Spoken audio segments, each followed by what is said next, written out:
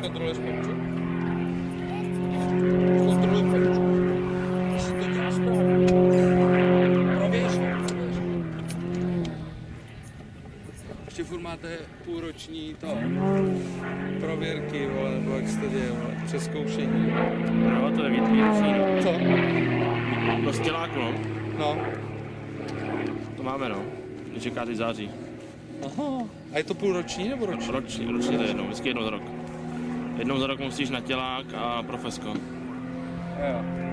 Profesko je easy, ale ten tělák je takový jako triky, no. No. Podle toho, jaký kokot se tam to přeskušuje, co? To je jedna věc a druhá věc, jak moc... Když to něco jiného, je to pro kluky, kteří jsou, já nevím, na bojovce, víš, a furt něco dělají, No, ale jasně, my jasně. prostě jako kancelářský krysy, to je pro nás jako docela No, jasně. jako... Jako jasně, máme tam třeba borce, který chodí cvičit a furt, ale zase nedělá svoji práci. Takže No, jako to vidíš jako buď A nebo B, no. Takhle, takhle, takhle, počkej.